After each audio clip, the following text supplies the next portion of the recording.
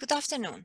On behalf of Calgary Public Library, I would like to welcome you to today's presentation, the Chair of Christian Thought, Lebel Lecture in Christian Ethics, an afternoon with Dr. Warren Kinghorn. This program is presented in partnership with the Department of Classics and Religion at the University of Calgary. Before we start, I would like to acknowledge Mohkinstsis, the land where the Elbow and Bow Rivers meet. In the spirit of truth and reconciliation, we recognize the ancestral territories, cultures, and oral practices of the Blackfoot people, the Iahe Nakoda Nation, the Beaver people of the Tsuut'ina Nation, and the Métis Nation of Alberta Region 3. Calgary Public Library serves the community on this traditional land, and we honor all people who share, celebrate, and steward the Treaty 7 territory of Southern Alberta. During the program, if you have any question for our guest, uh, please send them through the chat and we will read them out after the presentation. And now I would like to introduce Dr. Carolyn Music. Since July last year, Carolyn Music holds the Chair of Christian Thought in the Department of Classics and Religion, University of Calgary. The holder of the Chair of Christian Thought engages in knowledge translation, and initiates and organizes community events. Among these activities are four annual endowed public lectures that the Chair of Christian Thought organizes. The four are the Lebel Lecture in Christian Ethics, the Bentall Lecture on Education and Theology, the Swanson Lecture on Christian Spirituality and Theology, and the Iwaasa Lecture on Urban Theology. These lectures demonstrate the breadth and depth of Christian culture and reflect how numerous disciplines intersect with the study of religion. The Department of Classics and Religion and the Calgary Public Library have teamed up in partnership with the aim of making the endowed Chair of Christian Thought public lectures accessible to a wide audience across not only Calgary, but the whole of Alberta. Caroline?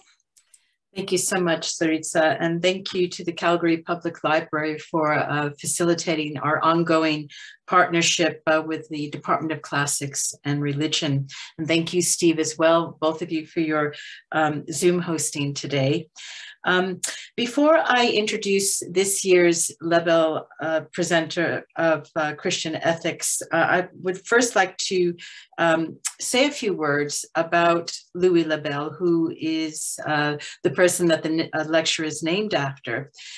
J. Louis Lebel was the third chancellor of the University of Calgary from 1978 to 1982 in fall of 1979, he joined with Dr. Peter Craigie in undertaking the planning and fundraising initiatives that in 1985 would result in launching the Chair of Christian Thought um, uh, activities.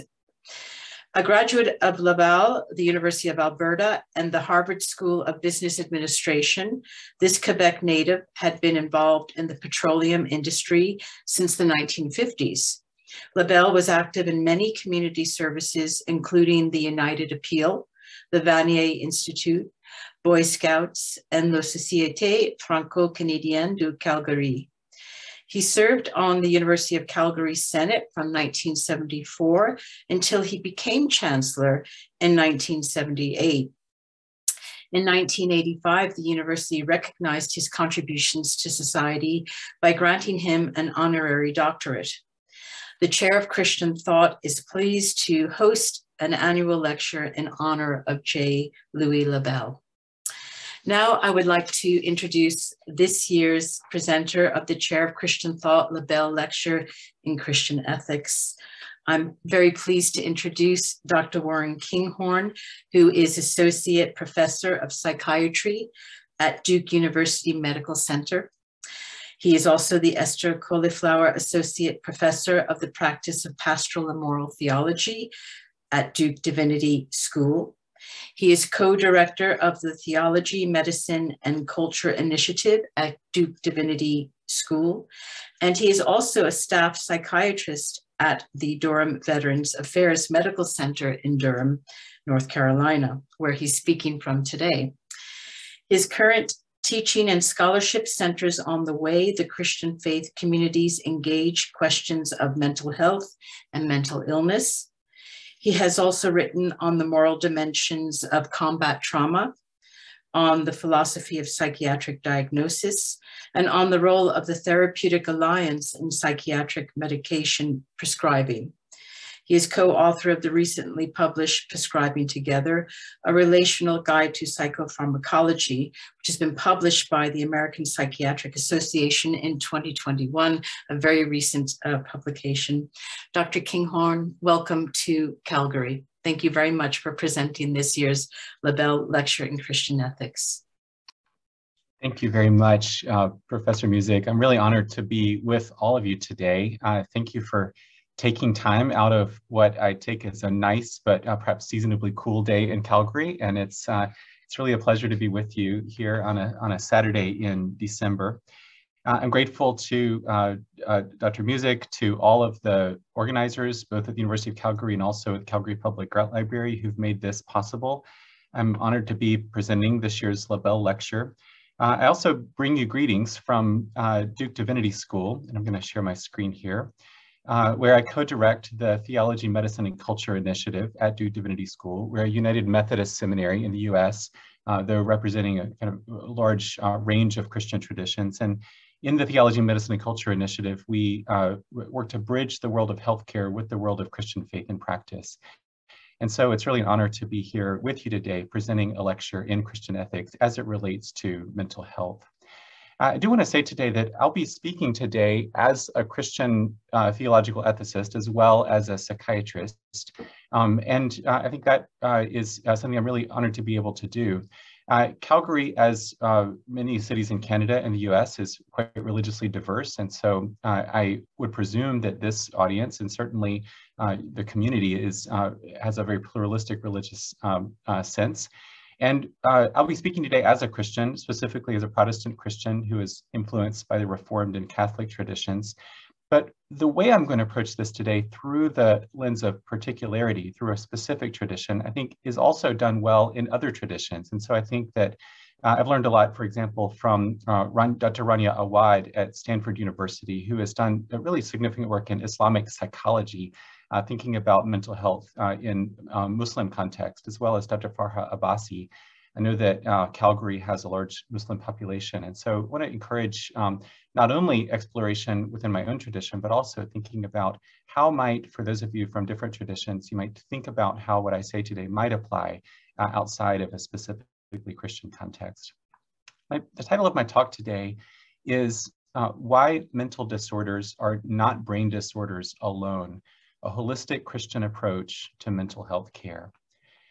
And I think it, the first thing I want to say and want to emphasize is that mental illness, mental health challenges, and I'll use those terms uh, uh, interchangeably in this talk, are a pervasive and ever-present part of every community, including those of us gathered right here this afternoon on this Zoom call, and our families and our loved ones, and we ourselves. I, and I'm going to be showing some statistics in a minute. I'm going to be speaking uh, in some theoretical ways about the way that we understand mental illness and speak about mental illness. But I think the things that I would want to, to be takeaways before anything else uh, are the three uh, phrases on this sign, actually, on this image. Don't give up. You're not alone. You matter if you're living through mental health challenges now, there's help for you and there's ways to get help and ways to think about support. And so I hope that everything in this lecture is, serves that end for, for those of you who are currently struggling or who are, who are uh, walking with and living with loved ones who are struggling. Uh, we do know that, to turn to a few statistics, that mental health challenges are a very significant uh, problem in the US and in Canada. Uh, this is US data showing that in 2017, uh, over the course of a year, 7.1% of Americans uh, experienced a major depressive episode. And uh, these numbers are roughly the same in Canada.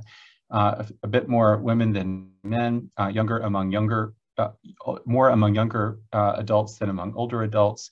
but you can see here that this means about one in 13 or so US citizens is depressed in any given year. Uh, this is a slightly older data, but shows that um, in the United States, with a population of about 320 million, in uh, in uh, in any given year, about 16 to 20 million people are living with a substance use problem. And if you think about any mental illness as defined by uh, our federal government using DSM criteria, uh, in any given year, about one in five Americans will experience some form of mental health challenges. And this is also, these numbers are very similar if you look at, at Canadian data. Uh, because this is in, partly, in part sponsored by the University of Calgary and because I teach and work in a university context and work with undergraduates and graduate students, in the US there's a biannual survey of uh, universities and colleges of different sizes that asks questions about student health parameters. And one of the things that's very interesting, they asked the same questions from 2009 to 2019 when they changed the survey instrument. And there's a few things that uh, are notable about college student mental health. Uh, and is that over the course of this decade, uh, students reported more and more and more psychological distress. So on an item, have you ever felt overwhelming anxiety? Uh, that went from about, you know, about around 45% uh, of students in 2009 to approximately 65%, 60 65% in 2019, with more women than men in, in saying yes to this question over the last 12 months. These are huge numbers. Uh, if, you, if students are asked, have you ever felt so depressed that it was difficult to function? In 2019, 48% of women on US college campuses answered yes to that question over the last 12 months, 37% of men. And you can see that these numbers have been trending up over the last 10 years. And this is all before the COVID pandemic. Uh, this is perhaps one of the most alarming to me. On the question, have you ever seriously considered suicide? Whereas in 2009 to 2011, 6%, which is still a fairly high number of US college students was saying yes to this question over the last 12 months. By 2019, these numbers were consistently trending upward to 12%. So about a doubling in the rates of students that endorsed having seriously considered suicide. And of course, all of this, all these data that I showed came before the COVID pandemic, which has just exacerbated mental health challenges uh, across our cultures. Uh, fortunately, for various reasons, that the rate of death by suicide in the US and in Canada decreased in 2020 compared to 2019. That's a positive thing that may or may not be directly related to the pandemic. But when people are asked about rates of stress, rates of depression, rates of anxiety, those numbers have gone significantly up in both the US and Canada in the context of the pandemic. And of course, in 2020 and 2021, uh, the pandemic is not the only way in which our societies seem stretched. Here in the US, of course, uh, in 2020 especially, and extending into 2021, there's been a really a nationwide struggling and reckoning and struggle and counter struggle around uh, racial equity uh, that has centered around the, the killings of Breonna Taylor and George Floyd and Ahmaud Arbery. And the fact that in the US, this was happening at the same time as the pandemic, at the same time as a particularly contentious election, has left, I think, US culture feeling pretty strained. And that shows up in, uh, in markers of mental health challenge. And in Canada, you can see that, and in, and in the US, uh, the, the health effects of COVID are, uh, are significantly disparate. And so these questions of racial justice, racial equity, and uh, the pandemic are not unrelated to each other. They intersect. Uh, in the US, we've seen that COVID death rates, especially early in the pandemic, but continuing now, have been vastly disproportionately borne by communities of color, uh, and you see here, this is from Statistics Canada, that um, this is a, a, a, report that showed that in uh, neighborhoods in Canada where there were greater than 25% what the statisticians call visible minorities, uh, that there was a higher uh, COVID death rate, escalating according to the um, percentage of minorities in any given neighborhood. And so this is uh, this just shows that in Canada and in the U.S., uh, the pandemic is stressful for everybody, but the effects have been disproportionately borne by uh, racial ethnic minorities, by communities of color. And uh, that is something that absolutely affects mental health in all of our communities. Uh, and also there's the ongoing challenge and problem of suicide. Uh, rates of death by suicide in the US were increasing by about 20 years until plateauing, hopefully, and beginning to decrease from 2019 to 2020 but still uh, just under 50,000 Americans die by suicide each year. I think around 4,500 Canadians died by suicide last year. And, um, and I just want to pause to say that if you are currently struggling and if uh, you're, uh, if you have any concerns for your safety or are thinking at all about suicide or that your life is not worth living, the most important thing you can do today is to get help. Uh, this is uh, a national um, uh, resource that's available in Canada. We have a similar uh, hotline available in the United States. And of course, there's local resources as well. But I wanna make sure that everybody understands that uh, the most important thing to do if you're struggling is to get the help that you need and that you deserve. How do we talk as communities and in our culture about mental health challenges, about mental illness? In the last several decades, it's become common both for mental health researchers and also for mental health advocates, those who really are working for equity and justice for people who live with mental illness, to uh, refer to and to frame mental illness as primarily a problem of the brain or of neurobiology, to consider mental disorders as brain disorders. Uh, this is showing up less explicitly than it did several years ago. Uh, some of the US organizations have backed off this language a little bit, but you still see this prominently in prominent mental health leaders in the United States, such as Tom Insel. Um, and uh, I just, just was trying to see what advocacy organizations in Canada were saying. And, and this uh, particular organization, the Canadian Alliance for Mental Illness and Mental Health, doesn't directly state that mental illness is a brain disorder, but right on their webpage, you see that the, the first image is that a schematic image of a brain. This idea that, uh, that it's good, perhaps destigmatizing, to associate mental illness, mental health problems with problems of the brain. Uh, now, I'm going to talk on both grounds as a practicing psychiatrist and also as a Christian. Uh, I'll be taking issue with this position that mental health challenges should be thought of as only a problem with the brain, or that mental health problems can ever be reduced to brain processes uh, as if we could understand mental illness uh, by looking at the brain alone. Uh, but I do want to be very clear as a psychiatrist and as a Christian that mental illness does happen in the brain and in the body because our lives happen in the brain and in the body. We are biological organisms. And so that uh, means that sometimes indeed mental health problems can be understood as problems of the brain. When the brain isn't working right, it does show up in our mental health and can show up as discrete forms of mental illness. Uh, and, and, and so it's, it's, not, it's not impossible, it sometimes is right, sometimes most fitting to see mental illness as a specific kind of brain problem. But I want to argue that it's a mistake to focus on the brain as the primary cause and site of all mental health challenges.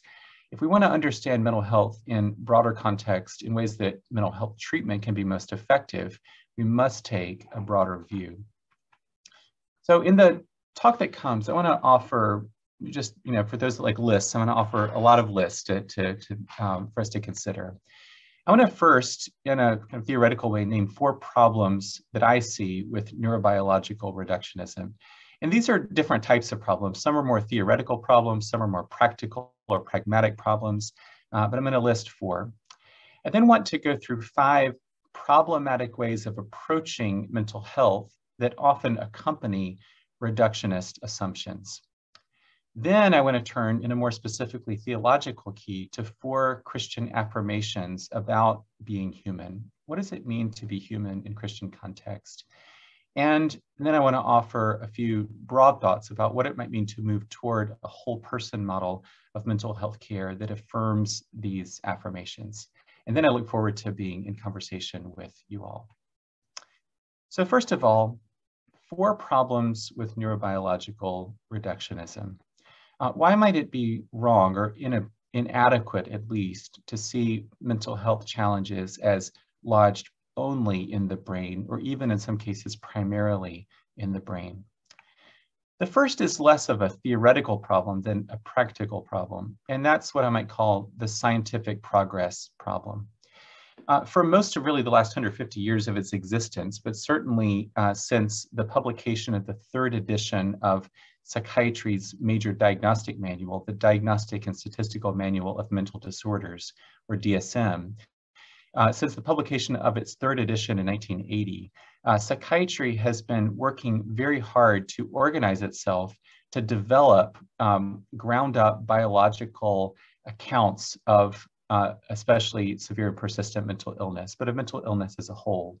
Uh, psychiatry has, as a field, and I speak as an American psychiatrist, has assumed that to the extent that we can ground our diagnoses and ground our work in neuroscience, that will help us to have credibility within the field of medicine and also provide practical uh, modes of therapy to help our patients. Uh, and so beginning especially in the 1980s with the publication of DSM-3, uh, there was a lot of optimism that now that psychiatry had standard diagnoses, diagnoses that are still with us, like major depressive disorder, bipolar disorder, post-traumatic stress disorder, then basic science researchers and translational science researchers could uh, then do the work to fill in the gaps to build ground up uh, neurobiological accounts of mental illness. Uh, and you saw this in uh, books like uh, Nancy Andreasen, very prominent psychiatrist book in, in, 1984 that was titled The Broken Brain as an image for mental illness. You saw this in the US through the, the declaration of the 1990s as the decade of the brain and huge increases in funding for uh, basic, basic neuroscience research that was focused on mental disorders. And the National Institute of Mental Health in the United States, which is the primary funding agency for mental health research, has, uh, for the last really 20 years, de dedicated the vast majority of its resources toward neuroscientific research on mental illness, not on things like social um, uh, uh, research into social causation of mental illness or communities uh, mental health or other things, although that's still a, a, a, much less of a priority. Uh, but unfortunately, all of this tremendous number of resources that have been poured into finding neurobiological accounts of mental illness have really not panned out. We're now over 40 years after the publication of DSM-3, and we have a lot more information. There's a lot of, of things that are known about how the brain works and how different brain circuits work, but there's, there's not a single major mental illness that we can now say we now have a clear uh, neurobiological account of exactly how this illness forms, exactly uh, what its pathogenesis is, and exactly how it can be treated. Uh, so a lot of information, but not a lot of direct explanation. There's various reasons for this. This is not necessarily the scientist's fault. It may be that because the, the, the way of organizing diagnoses that the DSM does is just way too broad. It doesn't uh, open itself to the kinds of questions that would lead to these kinds of explanations. But I would, I'm going to suggest there's some other issues as well. There's a book on this that was published by the Harvard historian of psychiatrist Anne Harrington called Mind Fixers, Psychiatry's Troubled Search for the Biology of Mental Illness. And she, she narrates this and, and what the challenges are. She actually has a very sympathetic approach to uh, those who would seek these biological explanations. And her one of her uh, suggestions at the end is that psychiatry narrow its scope and focus not broadly on on all kinds of anxiety and depression, for example, but really focus more on uh, severe, more severe, more clearly neurological forms of mental illness. I think that that's the wrong approach, but that's one that she would would propose. But but just to say, there's been problems in actually uh, uh, finding the answers that psychiatry is looking for. And I think this is related to a second problem that's more conceptual, which I would consider the field problem. Uh, this is a very familiar uh, figure ground image that uh, all, all, of us have seen images of before. If we were in a room together, I would ask you to raise your hands. Like, what do you see when you look at this image? I know that when I look at this, uh, if I look at it one way, I can see two faces looking at each other. If I look at it another way, I can see a vase. For me, and I realize some people's brains are wired differently than mine is, but for me, I can see the vase or I can see faces, but I can't see both at the same time very hard. It, it, my brain just works in such a way that one, when one comes to the forefront, the other recedes to the ground. I think that the way that we understand mental health challenges has a similar problem to it. And I might consider this not the distinction between the base and the faces, but the distinction between what I might consider an inside out and an outside in approach to mental health challenges.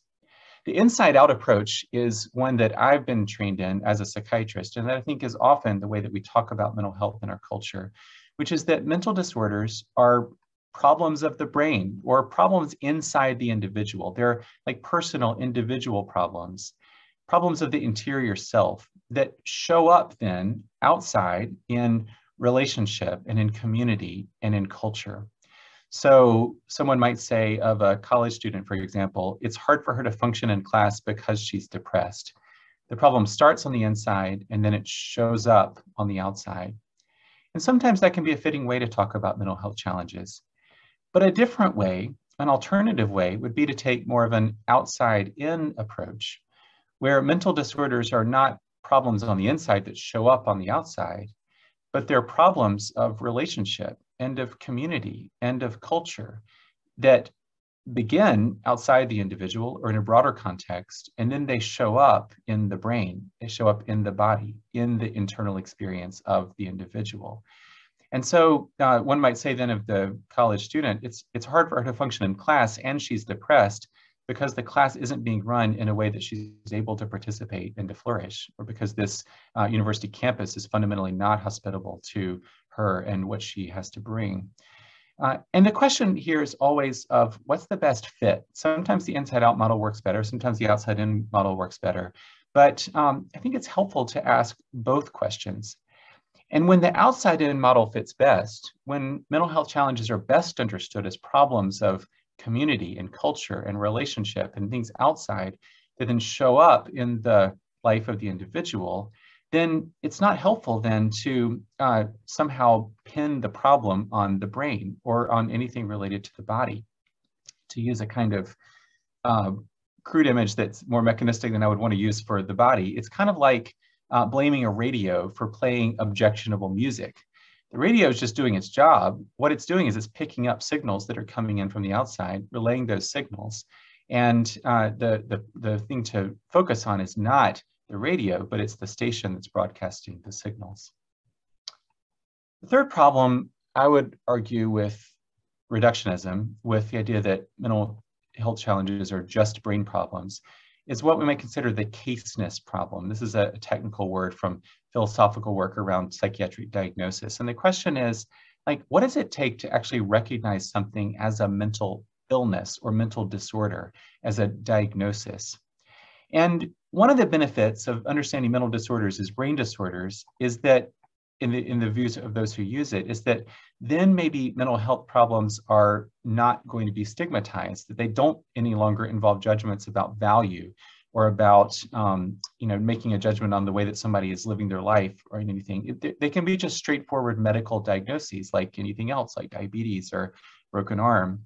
Um, but this is challenging when it comes to mental health. And, and I think it, it, it's much harder to think about that philosophically. Most philosophers who consider this agree that it really isn't possible to eradicate judgments about value from psychiatric diagnosis. In certain other areas of medicine, this may be more possible. I, I have doubts about whether it's ever completely possible, but it may be more possible. So if I, instead of my being a psychiatrist, were a nephrologist, a kidney doctor, then I can see when the kidneys aren't working well because toxins begin to accumulate in the blood. Uh, if I were a cardiologist, I can see that the heart is not pumping well because fluid's beginning to build up in the lungs, for example, and somebody's developing congestive heart failure. It's, it's more easily for me to see how the, the, the heart is an organ or the kidneys is an organ um, function within the health of the body as a whole. Uh, in some cases, we can see that with the brain, but in the cases of those conditions that get labeled mental health problems or mental illness, uh, it's, it's very hard then to know if the brain is working apart from make, understanding if someone's life is going well. So we know that the heart's working because it's pumping blood and uh, fluid isn't accumulating. We know that the brain is working insofar as someone is able to live and act in the world effectively and uh, in a way that isn't associated with lots of suffering. But what that does is it requires then a judgment to be made by the person who's affected and also by others about uh, is their life going well? And those are fundamentally ethical judgments, they're moral judgments. And so even if we did have ground up neurobiological accounts of mental illness, at some point someone would still have to say, this state of affairs of the brain that we're seeing is a disorder not because of what we see in the brain, but because it results in a way of living that isn't the way that people want to live or isn't appropriate or isn't uh, healthy. And those are those are fundamentally moral ethical judgments. So I don't think you can ever actually take psychiatry completely away from the realm of values, which just means we have to be very transparent about what those values are and about how power operates in the work that we do. And the last problem that I would name is what I would call the stigma problem. Uh, and this is, I think, not a problem in all ways, but it's, uh, but it's something to think about. Probably the major reason why advocacy organizations push for biological explanations or accounts of mental illness is, as I said before, because the idea is that if we can just associate biological uh, mental illness with biological problems, then there'll be less stigma associated with those conditions. There'll be just any other medical condition like diabetes, for example. Uh, and there's some truth to this, but when you actually begin to look at the data, it's a lot messier than you would think with regard to stigma. So a couple of meta-analyses. These are large studies, basically studies of studies that look at uh, quantitative studies and then uh, gather together and under specific statistical techniques to look at overall effects of particular um, phenomena. And there's a couple of meta-analyses published by a, a, a group of uh, American and Australian researchers about eight or 10 years ago that actually gathered together studies that looked at what they called biogenetic explanations for mental illness. And that's what it sounds like, the idea that mental illnesses are biologically caused. They're problems of the body, of biology, and not of other things. And they wanted to know, what's the effect of biogenetic explanations on stigma? And in these two meta-analyses, they showed that it was what they called a mixed blessing model. On one hand, people who hold biogenetic explanations for mental disorders tend to blame affected persons less for their problems. So that's good. It's good that people experience less stigma and less blame in that way. And, or I should say, but it wasn't all good news because people who held biogenetic explanations, and these are both lay people and clinicians, and also in one of these studies, they looked at data from uh, people with mental illness themselves. Uh, when people held biogenetic explanations, people with mental health problems were considered more dangerous. Uh, people with mental health challenges that held biogenetic explanations actually had more pessimism about recovery. And there was mixed data in these two studies, but one of the studies held that when people held biogenetic explanations, uh, they were more likely to want to, to keep distance from people with mental health challenges. So it's kind of a mixed thing. Uh, framing uh, mental illness as a biological problem might decrease blame, and that's a good thing but it might also increase the degree to which people with mental illness are ostracized or perceived as dangerous or have pessimism about their own possibility of recovery. And so this is a pragmatic problem, not a theoretical problem, but it's something to consider. So I want to move then to, uh, in a more broad way, to ways that this way of thinking about mental health, reductionist ways, affect the way that, that, mental health care works. And I'm speaking specifically as a psychiatrist. I think that other therapists and other mental health clinicians may be less susceptible to these, uh, these things. But I want to just uh, offer a few things that I see as trends in the forms of mental health care that I know that are, that are problematic. And then we'll, uh, and we'll think about Christian responses to these. I'm going to show a couple of older pharmaceutical ads because I think this is a way to help uh, capture how these ideas show up in the way that people understand themselves. And, and this is a quite old ad. This appeared in the in a, a medical journal in the late 1960s. Uh, it's a it's an ad for in the U.S. It's an ad for a, a benzodiazepine. It's still with us. Uh, but this is at a time when this kind of medicine was being used uh, heavily for anxiety. Now, you probably aren't able to read the small print in this ad, but I'll read it for you. And, and just, I wonder what you see in this image. Uh, and we'll come back to that in just a minute. But here's the, here's the text. It says, you know this woman. This is, um, this is written to psychiatrists, almost all of whom at this time would have been men. Uh, you know this woman. She's anxious, tense, irritable. She's felt this way for months. Beset by the seemingly insurmountable problems of raising a young family and confined to the home most of the time, her symptoms reflect a sense of inadequacy and isolation. Your reassurance and guidance may have helped some, but not enough.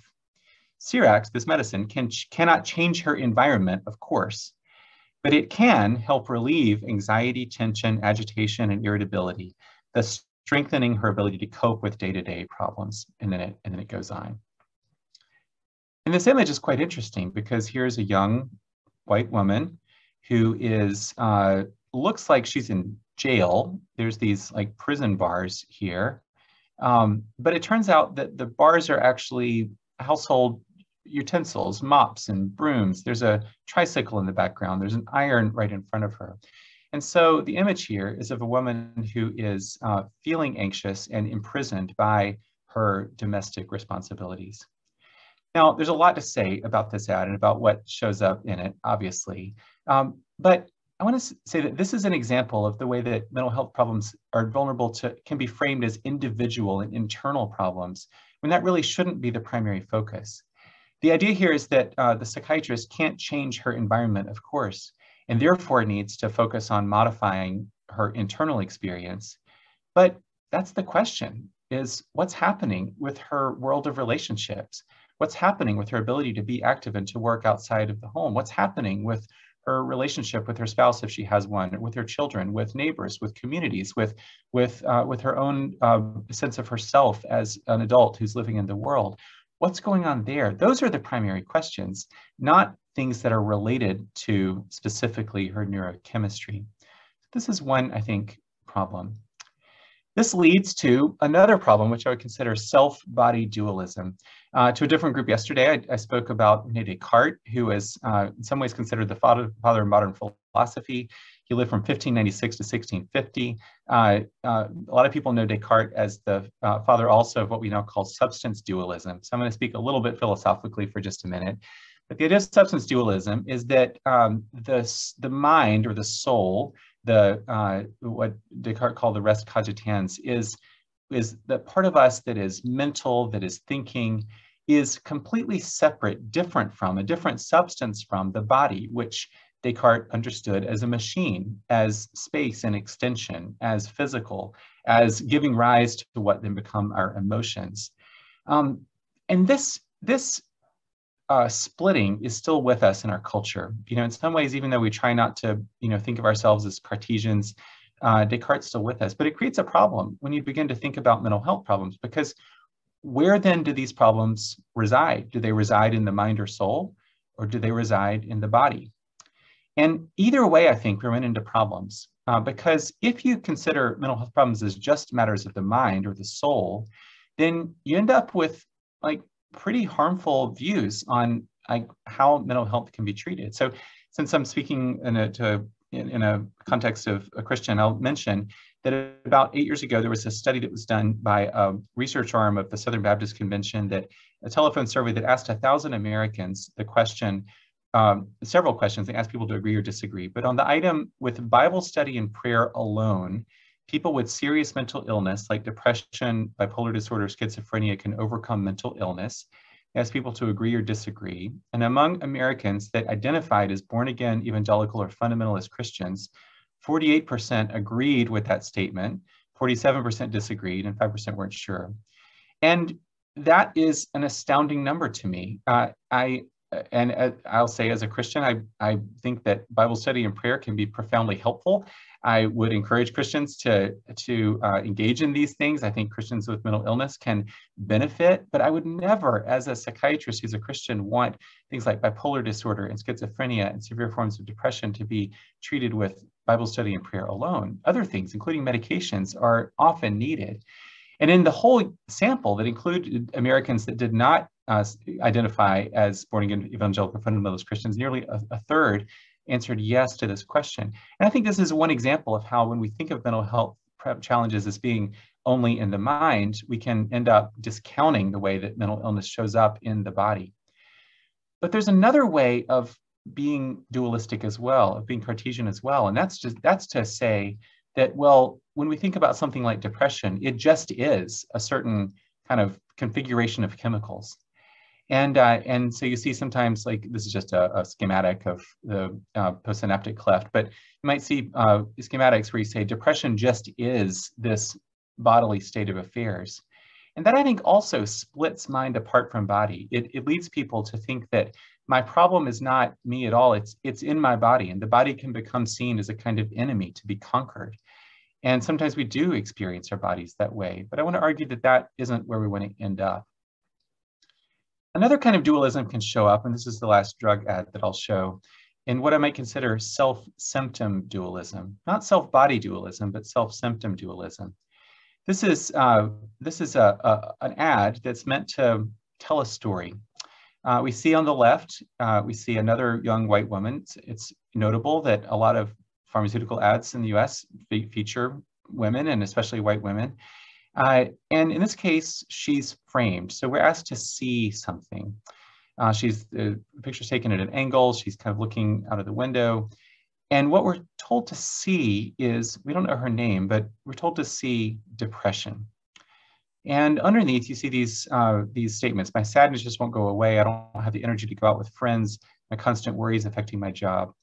And all of these are things that, if for those of us on this call that are experiencing this, I hope you know you'll find help in treatment. These are things that are are not good ways to feel, but they're also fairly common. But we're being asked to, there's a frame here, we're being asked to see depression. And then we're being told to see data, which is, you know, this company's uh, very basic synthesis of what they want you to know about the data on this drug. And then we have another image on the right is to see the difference. And it's the same woman here dressed differently and now she's uh, she's arm wrestling. She's surrounded by people. Uh, the image is no longer you know taken at a, at a at an angle. And the effect of this is to is to uh, is to to help help us to see like as a result of this particular medication what starts as depression can be something else. But what this does is it encourages people to see our experience as human beings how we uh, live and act in the world as these things outside of us, as symptoms that then require modification. And this leads to a fourth uh, kind of, of uh, way that mental health care often works, which I would call technicism, which is the idea that having been named experience and behavior as symptoms, then effective mental health treatment is to provide whatever the intervention is that will reduce those problematic symptoms this actually is an interesting study. I won't get into this, but on uh, brexanolone for uh, postpartum depression. But uh, just as an example, every uh, psychiatric uh, uh, re, treatment study will have something like this, where they'll show how an, a treatment group separates from placebo. And the focus is here on that anything that helps to reduce symptoms is an evidence-based treatment. Um, but that means that all of a sudden we're then thinking of our own experience in very technological ways. And of course, what can be technological can also be packaged and bought and sold. And so mental health care is increasingly commodified, especially in the American healthcare system, but I suspect in different ways in the Canadian healthcare system, where um, there's increasingly the focus on what do different interventions cost? What do these technologies cost? Uh, what is units of a clinician's time cost? And who are the uh, clinicians who are able to see uh, particular people for particular conditions?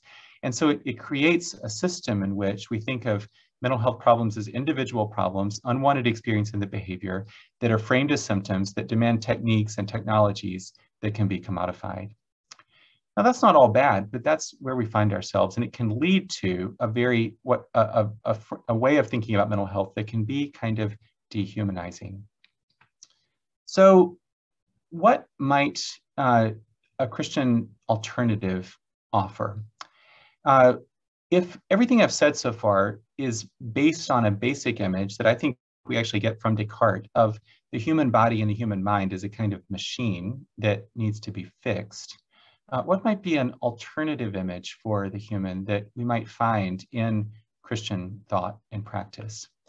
And I want to offer that the alternative image is that of a wayfarer, of one who is on a journey. And I'll get to this in just a minute. But now I want to switch uh, into like a full, uh, uh, trying to trying to give like a specifically Christian account of being human that I think also can apply outside of a specifically Christian context. But I am speaking here as a, a, the, a theological ethicist and theologian, and specifically from a Christian context. The first thing that I would say as a Christian about being human is that before all else, uh, we are deeply and fully known and loved by God the 139th Psalm, uh, which uh, many of you I'm sure know, Oh Lord, you've searched me and known me. You know when I sit down and when I rise up. You discern my thoughts from far away. You search out my path and my lying down and are acquainted with all my ways. even before a word is on my tongue, O Lord, you know it completely. You hem me in behind and before and lay your hand upon me. Uh, and so this, this idea that, that we are deeply known, we're deeply loved by God.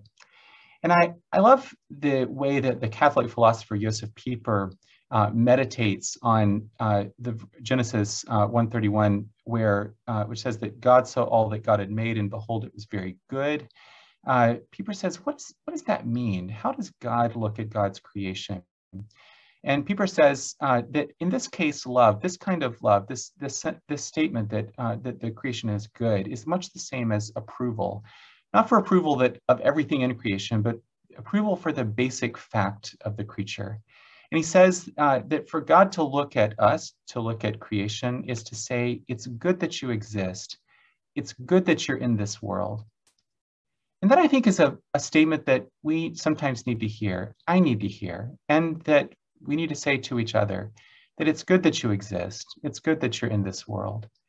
So Christian faith sees the human not primarily as just a kind of organism out there, but as one who is already, as a basic condition and fact of our existence, beloved of God.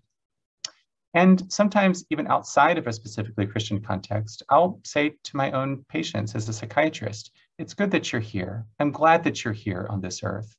You're a person of great dignity and of great worth. Second, we are living creatures of earth. Uh, Genesis 2 says that the Lord God formed the human from the dust of the ground, breathed into uh, his nostrils the breath of life, and Adam, the man, became a living being. Uh, and I love this idea that that that, we are dust. We're living creatures of earth, uh, and that means I think that Christians can wholeheartedly embrace work in the biology of mental disorders. We are dust. We're biological creatures, and we're living creatures of earth who grow and who love in relationship.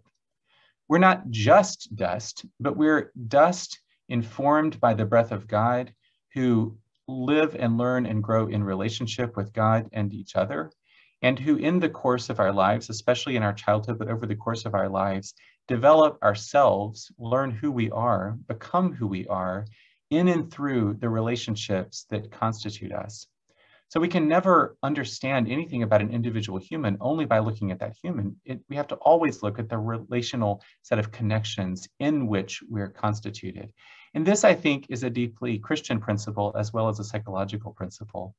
Uh, and so again, it leads to this idea of inside out and outside in way of thinking about mental health problems. Maybe sometimes the problems are not primarily problems of the dust, of the earth, of the body, but maybe they're primarily problems of community and of relationships and of how our culture is operating right now. We have to look outside of ourselves or to use more of a psychiatric word, we need to think about mental health in biosocial context.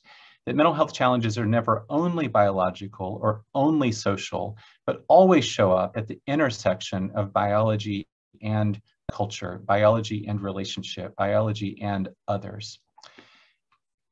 The third basic affirmation is that we are wayfarers. Uh, the image of the human as a pilgrim is uh, shows up throughout scripture and certainly throughout subsequent Christian tradition.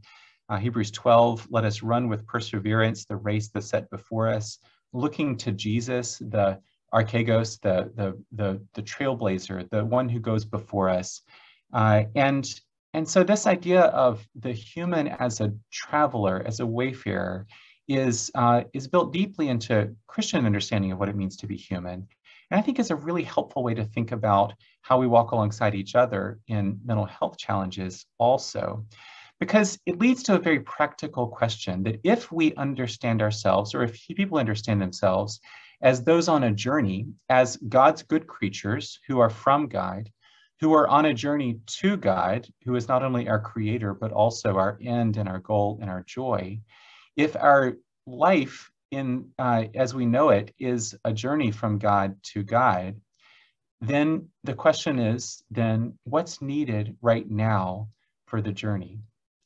I think that this is the most important, helpful question that anyone, Christian or not, can ask ourselves in the context of mental health challenges. first of all, what, what does the journey look like? Where's somebody going? And then what's needed right now for the journey? Because that answer actually might uh, be a lot of different things. It might be that what's needed is a psychiatric medication or a course of electroconvulsive therapy or TMS. It might be that what's needed is a structured course of psychotherapy, but it might be that what's needed is a secure place to live. It might be that what's needed is secure access to food. It might be that what's needed is to get out of an abusive relationship. Uh, it might be what's needed is a supportive community. It might need that what's needed is a, a community that can call one into friendship or uh, can uh, invite one into shared meals or other things. There's lots of possible answers to that question. And I think starting with that question, not with what's broken and need to be fixed, but with what's needed right now for the journey can be, I think, a life-giving way to think about the goods of mental health care. And then fourth, uh, I would say that Christians would affirm that we find our deepest fulfillment not in control, but in wonder. And I want to say this carefully as well as a psychiatrist, because control is a really good thing. We often talk about controlling mental health symptoms. We, uh, we talk about you know, bringing things under control. Our medications are largely focused on control. Uh, control is not a bad thing, it's a good thing. And I work a lot with trauma survivors. And for survivors of trauma, control over, the, over uh, one's body, over one's immediate environment is really important because the world is, has at, at one point, uh, and at least one point, been very uncontrollable. And so control is not a bad thing, it's a good thing. But if, if we remain focused on control throughout our lives, control of ourselves or of our bodies, of the bodies, especially of the bodies of others, if control is the highest good of our life, then we get kind of enclosed into that pursuit of control. And especially we give a lot of power to whomever or whatever systems or institutions or people or resources we perceive to have placed us or to maintain us in a position of control. It's one way that Christians have understood idolatry as, as like a, a kind of desire for control and seeking control and, and ultimately uh, giving uh, our devotion to things that are somehow not God or opposed to God. But this, this movement of control, if, if control is our highest good, we're going to be subservient to whatever it is that puts us in a position of control. So understanding that, that Christians find our fulfillment not primarily or, or finally in control, but rather in love and in wonder. What does it mean in our practices of mental health care to maybe start with needing control over unmanageable symptoms, but from there to move toward what does it mean to become deeper and greater lovers of God and of others and of the natural world and of those around us. And, uh, and that's something that's, uh, that's deeply important for us to, to consider. Um, and so uh, when I talk with my theological students, I ask, is your study of theology uh, bringing you more into a place where you're feeling like a desire to control? Or is it helping to focus you as, or is it helping to form you into a deeper lover of God and of others? And I would say the same thing of seeking mental health care. Is our study, is our, our, our engagement with mental health care uh, more and more leading us to seek control, or is it opening us into uh, a, a, posture of uh, openness to love for God and of others? These are, I think, uh, things that Christians would want to ask. So finally, I want to end with suggesting in a very broad brushstroke, what would it mean to think away from the image of the body as machine toward a whole person model of mental health care? Uh, and I want to offer three themes, but first to say that uh, these there's really two ways of seeing that are involved here. The more reductionist way of thinking about mental health challenges is, is uh, would see mental health problems or mental illness or mental disorders as identity defining problems uh, where your diagnosis is your identity located in the individual caused by dysfunction in the body or brain. And so the focus is then like, how do you just reach in and through technology uh, change the body or brain in whatever way is going to make those symptoms go away. Uh, of course, not, all, not everybody uh, engages mental health care that way, but that's a persistent possibility for the mental health world that we find ourselves in. Or do we understand mental health problems as, as challenges faced by wayfarers who are embodied, relational, loved creatures of earth who are on a journey to guide. This is the, the way that we can think about what, how are we understanding our own and uh, our own mental health challenges and the mental health challenges of all those around us. And so just to kind of repeat some of what I've said, but to, uh, to end with this and to transition to our conversation, I'd offer three themes. That a, a non-reductionist form of mental health care uh, informed by Christian context would always want to uh, move from only individual also to relational experience.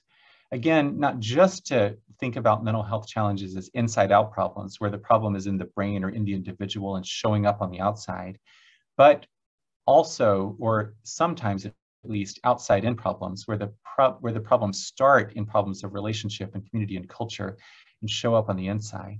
And so my encouragement to uh, my own trainees in psychiatry, but also to others is in a culture that kind of emphasizes, that prioritizes inside out explanations, start with the outside in and ask if ask how well the outside in model fits in a given situation. And uh, sometimes that can be really illuminating because if we don't just start with the inside out, assuming that whatever the problem is, it needs to be treated as an individual problem. But if we start with the outside in, that can open up new possibilities for response. It is, it is the case that sometimes the inside out model does fit best where there is, um, you know, someone's had a, a, a, an illness or there's something that, uh, that fits the medical model of inside out um, uh, challenges better than others. And so I think uh, schizophrenia would be one example of a mental health challenge that I think there's really good reason to think that it follows a, a pretty clearly medical model of brain changes. But even schizophrenia, for example, is profoundly the experience of schizophrenia, the course of someone with schizophrenia, the flourishing of someone with schizophrenia is not only a matter of uh, the processes that are happening in their brain, but it's also a matter of what's happening in the communities that they live and what kinds of resources they have access to and uh, how uh, the community around them responds to their experience. And so even more um, uh, uh, psychiatric problems that are more friendly, more better fitting for a medical model still need to be seen in both frames. This, uh, I just want to mention a, a, popular book that I've, I find helpful in this way, in part because the writer's uh, just so clear about uh, what's at stake. Uh, the, the book Lost Connections by the British journalist Johann Hari. Uh, Hari described, uh, writes about himself as someone who experienced depression and was treated in the NHS in Britain for many years, mostly in a very biological way with medications. And he began to ask the question, what if the epidemic of depression and anxiety in our North Atlantic culture, especially North America and Europe, is not because there's increasing rates of brain dysfunction as if you know there's something happening in people's brains, but what if it's that we live in a culture that no longer meets our basic psychological needs? What if we're experiencing an epidemic of disconnection? And he has different chapters where he writes about uh, disconnection from meaningful work, from other people, from meaningful values, from childhood trauma, from status and respect, from the natural world, from a hopeful or secure future. Um, what if that's the problem? And if and if if if the the widespread increasing rates of depression and anxiety is more a function of a culture that's disconnected. And this book came out before the COVID pandemic and all of the increasing disconnection that we've all been experiencing in some way since February, March of 2020. And he says, what if then the right response to depression and anxiety, he's, he's very willing to say that sometimes medications can be very helpful, but what if our primary way of thinking about uh, depression and anxiety in our culture would be to think about reconnecting all of these things that have been disconnected and as a Christian, this is where I think that religious communities, faith communities, the church can be deeply important and constructive and helpful in creating cultures and communities of connection and reconnection, of communion rather than fragmentation. Second, I would want to argue that we should move from duality to unity. Uh, so instead of seeing mental illness as either a problem of the mind or of the body, where we can see our bodies as an enemy, Christians wouldn't want to understand humans as ensouled bodies or embodied souls on a journey to God. We walk through this world as living bodies drawn to God by desire, drawn by God, by God's grace. And what does it mean always then to ask, you know, uh, uh, what does it mean not to see ourselves as split apart, but as whole persons in the world? And that then leads to then the third movement, which would be from fixing to attending. What if we were to understand, what if in any given situation, we were not to say like, this is a mental health problem that needs to be fixed, but rather this is someone who's on a journey who needs to be attended. And it helps us to have images that are less industrial and mechanical and more organic and communal. What does it mean to walk with each other in the context of mental health problems and challenges? And how always do we ask what's needed right now for the journey? Thank you very much. I'm really grateful for your time today and I really look forward to the questions that are to follow. Thank you so much, Dr. Kinghorn. That was a, a wonderful uh, talk and uh, very inspirational. Uh, we have a number of questions that have been coming in um, that have been coming in through the chat already. So if you don't mind, I'll just launch right into those. I'll read them out to you and to the rest of the audience. Um, first question is, how have Christian communities historically approached mental health and have there been distinctive periods? In that approach? Yeah, great question. That's a very complex question because uh, Christian tradition is 2,000 years old. But mm-hmm. I'd say that uh, it's just important for me to acknowledge that sometimes Christians have been very constructive in approaching mental health problems, and sometimes Christians have been very destructive in the way that we have, uh, we collectively have approached mental health. I think on the constructive ends, I think it's important to know that uh, that the there have been many innovations in mental health practice that actually have been results of Christians acting faithfully in the world as Christians. So uh, one of the first, if not the first, uh, hospitals in the Western world was in Valencia, Spain, where a, a, priest named Juan Gilabert Jofre saw a man being beaten on the streets of Valencia. Uh, he uh, stopped the crowd from beating this man who was cognitively impaired. He took the man back to his chapter house and he went to the to the Cathedral at Valencia and preached a, a, sermon in February 1409 and said, you must not allow this to happen in your city. And so they built a hospital called the Hospital of the Holy Innocents that was uh, that still exists in some form to this day.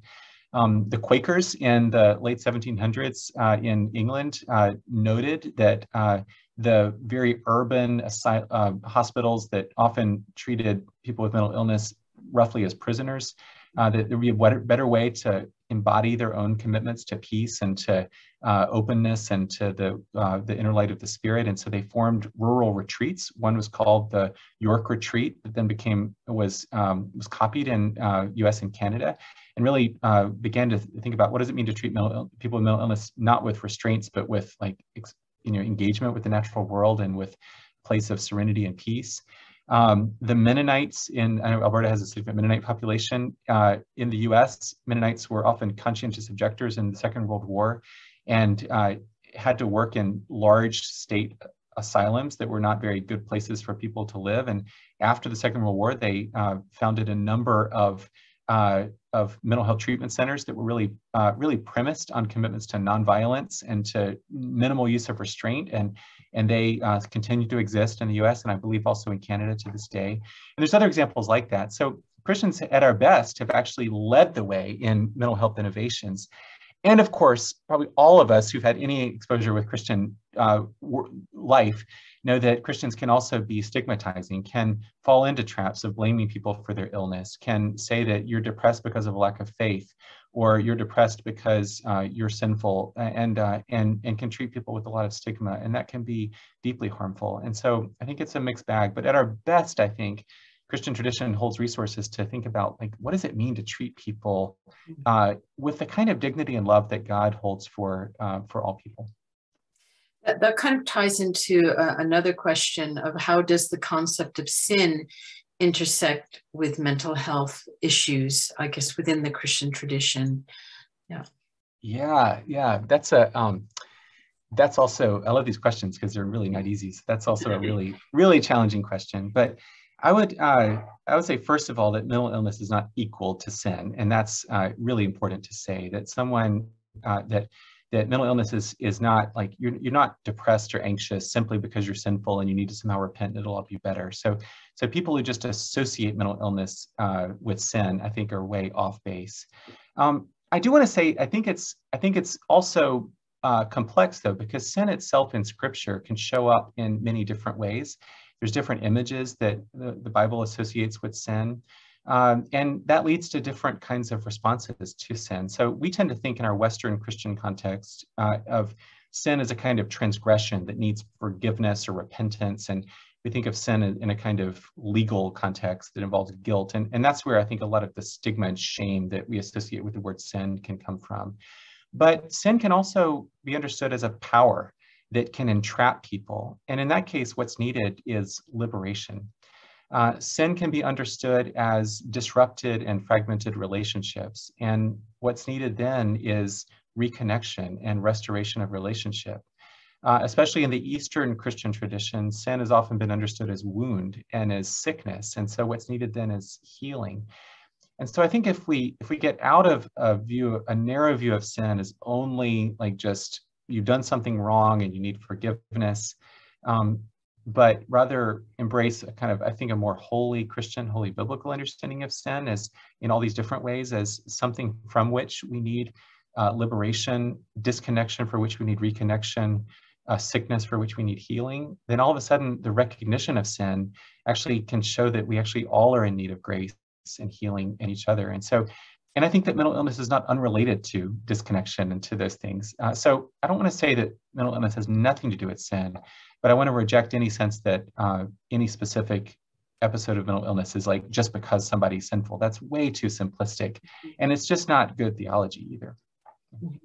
I just uh, it's, it's, remind me if I just can go off uh, script from these questions too is uh, Julian Norwich's Revelations of Divine Love, and how that is um, uh, how she's uh, trying to grapple with uh, her even Christians, her her fellow Christians around her who are very anxious about sin and about condemnation. And it gets back to the point you're raising earlier about she she says that may be the case. She may have sinned, but the the grounding factor is is the love that mm, yes. uh, that that you have that God has for you, but also that you have for yourself and for others. So um, I'm wondering if you're if you found that people may have responded to Julian of Norwich in your own uh, experience. Has that come um, across? Uh, is she used uh, in contemporary um, studies uh, associated with mental healing?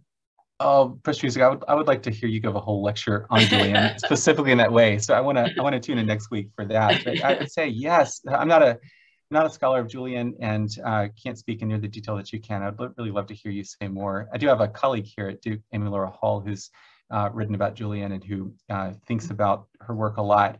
But I would just say my understanding of Julian is that she had this um, just imagination um, exploding vision of the goodness and love of God. Mm-hmm. And it, uh, it sustained her. It helped her to see the whole cosmos and all of life in just a radically expansive way that made possible just a, a, whole way of thinking about the world. And, and that's, I think, in a, in a culture that encloses us, I think we need more of that kind of vision. And I would just, uh, I would just say, say yes, thank you. And I, I really would love to hear you say more about that. Uh, well, you, you said it brilliantly right there. Thank you so much for that. Um, um, now, there are many questions here. So um, have there been recent developments in specifically Christian theology thinking that have helped you in your vocation? That's a great question. Yeah, I, um, how would I frame that? I think that for me, I, um, I, well, I just autobiographically grew up as a, as a um, Protestant in a an evangelical Protestant context in the U.S. that was heavily informed by Calvinism. Grew up uh, in a Baptist context, and now I'm Presbyterian.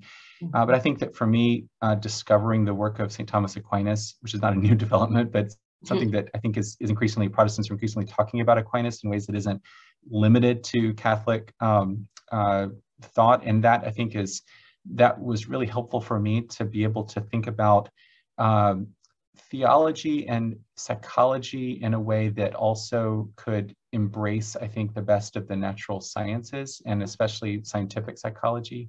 And so I'd be happy to say more about that, but that's one thing that I've found helpful.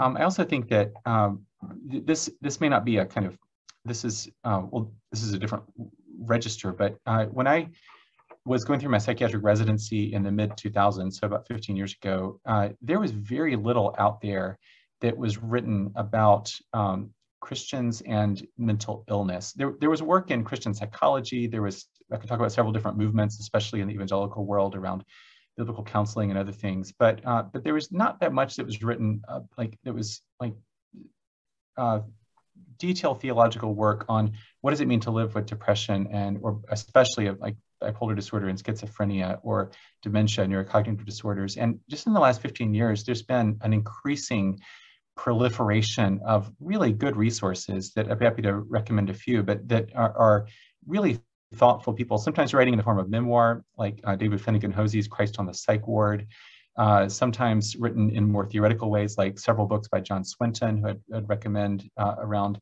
his work on mental health problems and especially on dementia, um, that I think have really, there's been a, just an expansion of really thoughtful Christian theological work on mental health and mental illness that I've, I've learned from and have appreciated. And hope that I can be in ongoing conversation with.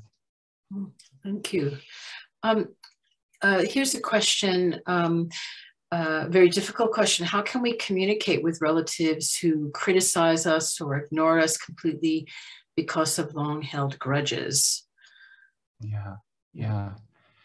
Yeah, that's that that is a difficult question. And it's a question that obviously has a very specific mm-hmm. context. And, and I think that it's it's hard to hard to know without that kind of close attention to context and to know like what are what are the grudges and who are the people and mm-hmm. i think i would encourage the questioner uh, i think the best answer i could give would be that sounds like a, a hard situation that has been long in mm-hmm. in its formation and probably will take a long time to uh, to resolve and so the most important thing is to have really good advisors so who who's somebody of with wisdom that is in your circle whether that's a therapist or whether that's a pastor or someone that you trust, someone who's a wise person in your in your sphere who uh, could just help to provide some reflections and think about what specifically do those um, do they, how what have those relationships been like over time and what might be ways to to respond?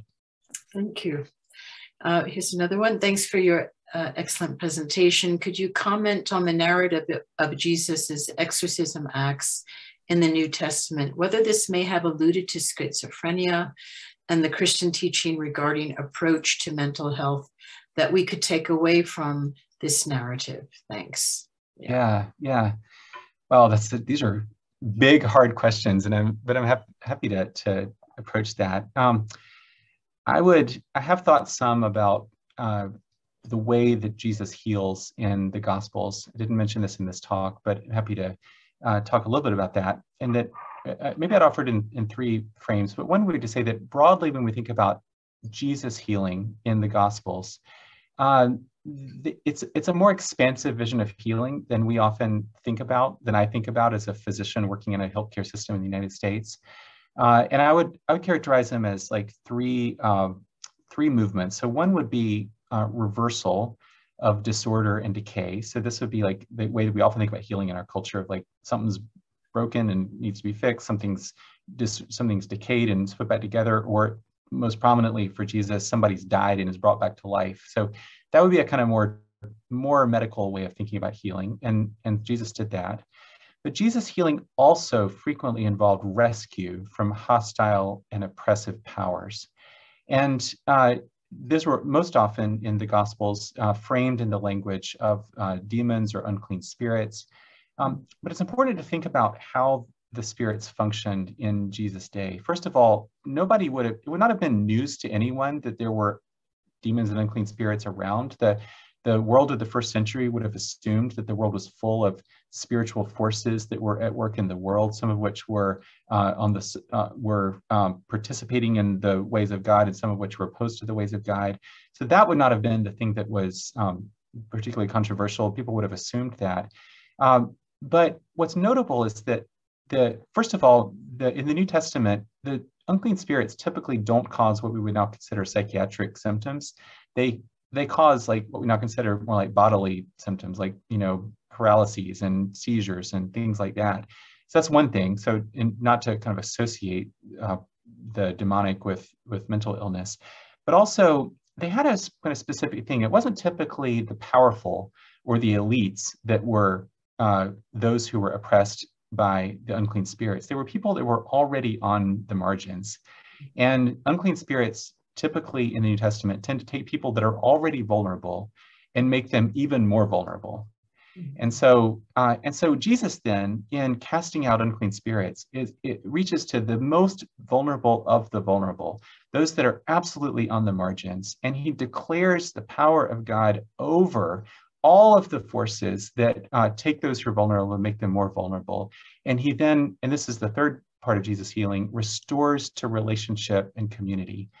So if we think about Jesus healing as reversal of disorder and decay, rescue from hostile and oppressive powers, restoration of relationship and community, then I think we have a, a kind of more whole biblical way of thinking about uh, Jesus healing. And so in that sense, you can think about maybe the best known exorcism that Jesus did that is often associated with mental illness, that of Legion, or the man that we know by the name of Legion in Mark 5. Uh, this was a man who was um, on the outs. He was living in the tombs. Um, Jesus came and asked, What's your name? And of course, he said, Our name is Legion, for we're many, or my name is Legion, for we are many. Jesus casts out the demons from the man. They go into the pigs over the sea. The man um, then is found in his community, the scripture says, uh, clothed and in his right mind. He then asked Jesus to follow him. Jesus says, No, I need you to go and go to your own community and tell, tell them what the Lord has done for you. This is a predominantly Gentile area, by the way. Um, it's possible to read this as a man with mental illness who was healed, but I think it's a it's a more compelling image of this is to see it. This is a man who was um, on the outs, who was ostracized for reasons that we don't fully understand. Jesus cast out the powers that were oppressing him. There's definitely resonance to Roman military power, given that the name said his name was Legion. And he then restores him to community. And so I think it, this is not a specifically tale about mental illness, but it's it's a tale about how people that are broken are then restored. And by the way, this man, um, since the Decapolis where this man lived was a predominantly Gentile area, um, some commentators have pointed out that this man became the first missionary to the Gentiles. Um, this man who was living in the tombs became the one who was the first to preach to the Gentiles about the good news of Jesus. Thank you. Uh, keeping with the big and difficult questions, um, how do you view the relationship of ethics and morality to ongoing mental health?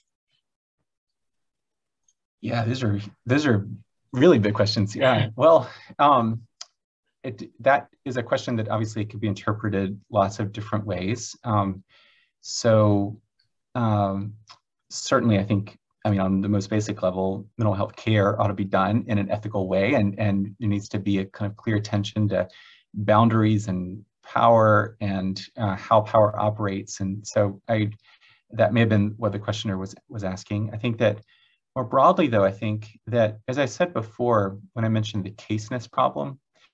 If you can't ever really make a judgment about whether something is a mental health challenge, or at least is something that that uh, that ha- warrants treatment, without making some kind of an ethical or moral judgment, then I would just say that we have to just accept that on some level, whether we like it or not, uh, mental health treatment or seeking mental health treatment is a fundamentally, ineradicably moral, ethical practice.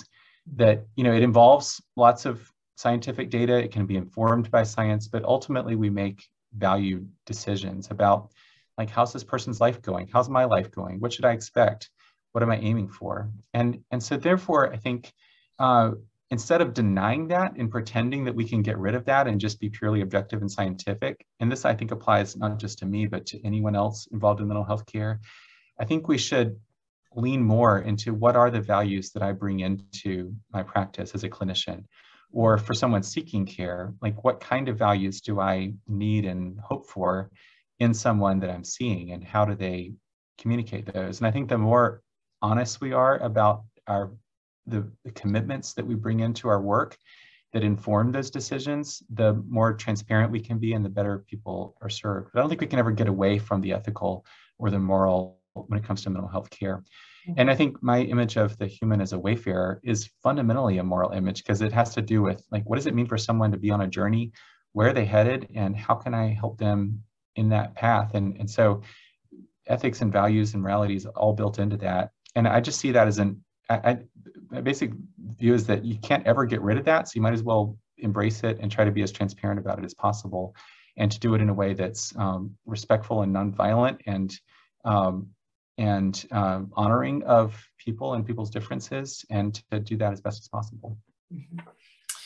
Thank you. Um, here's a, another question. Have you encountered reluctance among devout believers when it comes to seeking help with their mental health challenges? Yeah, absolutely. And that's one of the things that I care about the most. I think a lot of Christians, and I've found myself in this situation and others do, uh, often um, just there's just a lot of stigma and a lot of shame and a lot of sense that that if I um, talk about being vulnerable, if I talk about not feeling like I have it together, if I if I don't present in a certain way, especially in church, but around other Christians, then I'll be judged, mm-hmm. and that is stigma. And then people often will um, have the kind of shame that if people really knew about my past or if people really knew about how I was really feeling, I wouldn't belong in this community. And so people can then um, kind of um, distance themselves from relationships right at a time when it's needed the most. Uh, there's also in the Christian, especially the American Christian world, there's there's um, been stigma against like therapy or against psychology or against psychiatry that has um, various, I think it's maybe a little bit less the case than it used to be, but uh, certainly uh, a lot of Christians believe that you just shouldn't see a secular therapist. If you see anyone, it needs to be just a Christian counselor. And so I think that that's a, a lot of that's out there. Um, and I would just say that um, it that for Christians who are thinking that, who feel like um, uh, it's wrong to be vulnerable, it's wrong to struggle, uh, that's not at all uh, something that I think scripture at its best witnesses to. Mm-hmm. It's not how Christians ought to talk about and, and treat each other. Uh, the church ought to be the space where we can most talk about those places where we're struggling and are vulnerable. And, and so Christian communities have an obligation. And I think, I think churches can do a lot to destigmatize by, for instance, talking about mental illness in public spaces, like having it talked about from the pulpit in you know, in settings where that where preaching happens, uh, giving people an opportunity to talk about their own experiences of living with mental health problems and how they've sought care. Um, very practical things like mental health first aid, or there's there's a couple of uh, of congregational resources. One of which was produced in Canada at uh, Regent College in Vancouver uh, by Sanctuary Mental Health Collaborative, which is a like a video uh, curriculum. This is, this is more well, get a, a wide variety of church of congregations who could find this useful, but it's basically like, what does it mean to talk about mental health and to find ways to be able to do that in ways that people aren't alone? And I think when churches and Christians start to talk about mental health problems openly and you know start to make it something that's just part of what people know is is there, because every every gathering has people who are depressed and anxious and everything else. So when so given that it's already there, beginning to talk about it can help people feel less alone that leads to less stigma and less shame and more belonging, and that is better for everyone. Mm-hmm. For sure.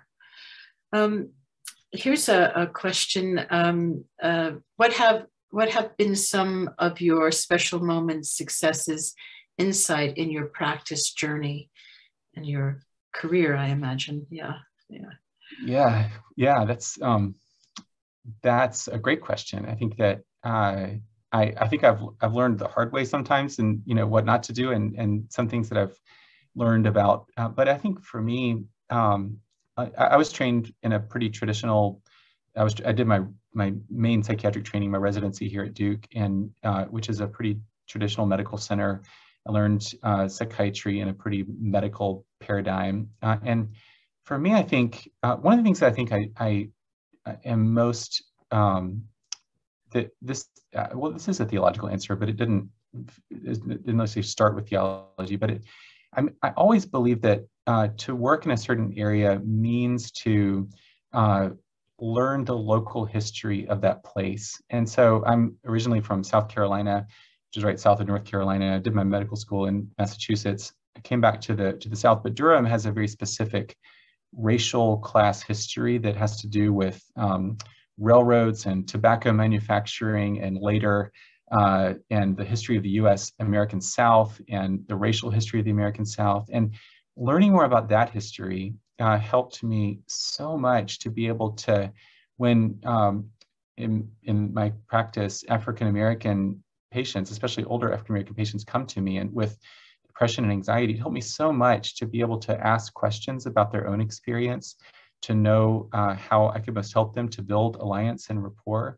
And so that gets out of the language of symptoms and more into the language of story. So, what does it mean to think about people as placed and connected to each other in place? Um, and so I love the fact that there was a land acknowledgement at the first, at, the beginning of this talk, and um, and and it matters for mental health because um, I know that the rate of death by suicide for in First Nations communities and especially in Inuit communities is much higher than in the Canadian population as a whole. And so, so thinking about how local history and place and story intersects with people's experiences is I think one thing. And there's lots of other lessons I could talk about. That's the first one that comes to mind. That's really helpful. I need to read up on Calgarian history, I think now too. That's a, yeah. a great, great advice. Thank you for that.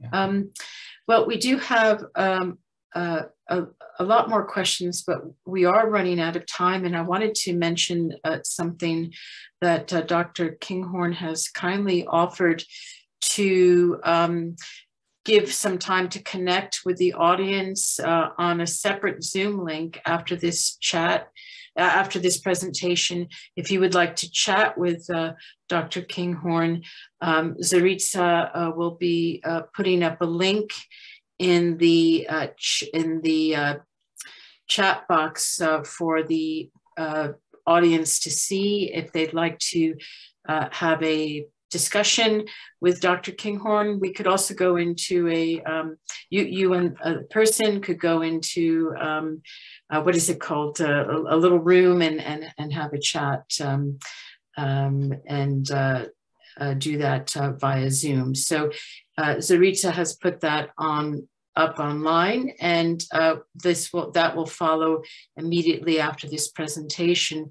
But I want to read um, one uh, of the comments here because I think it summarizes uh, the entire audience and, and my feeling that simply to say this was a truly wonderful lecture and to thank you very much for coming uh, to speak to us um, on this extremely important topic and give us so many insights perspectives. And I think what's perhaps more importantly is hope uh, how to, to go forward in, these, in, uh, in this area. So thank you so much, Dr. Kinghorn, uh, for your lecture today. Thank you so much, Dr. Musick. And thanks to all of you for, I know life is busy these days and it's the middle of a weekend and I just am so grateful to all of you who are here today. So thank you very much. And anybody who does want to connect afterward, I would love to join you in the Zoom room in just a few minutes. So okay. You. That's great. I'm just going to copy that link myself and uh, see what we can do here. Thank you so much. Thank you, uh, audience, again, and thank you, Calgary Public Library as well.